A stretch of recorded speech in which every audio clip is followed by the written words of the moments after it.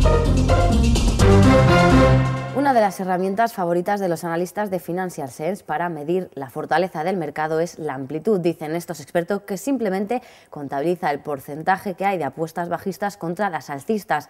Al enfrentar estos extremos no solo podemos conocer la situación actual del mercado o de la economía, sino que también podemos adelantar si estamos en un punto de inflexión, en un punto de transición entre, por ejemplo, un mercado alcista y uno bajista o viceversa. Por ello, estos expertos, para saber en qué situación nos encontramos ahora, nos aconsejan que echemos un vistazo a los indicadores líderes y coincidentes que elabora la Fed de Filadelfia. Dicen estos expertos que no solo se centra en, el conjunto de Estados Unidos, sino que contabiliza perdón, también los 50 estados que lo componen. En este sentido, señalan lo siguiente. Según el último indicador coincidente, más del 92% de los 50 estados de Estados Unidos se encuentra en posición de crecimiento. Además, en lo que indica el indicador líder estatal, se encuentra cómodamente por encima del 1%.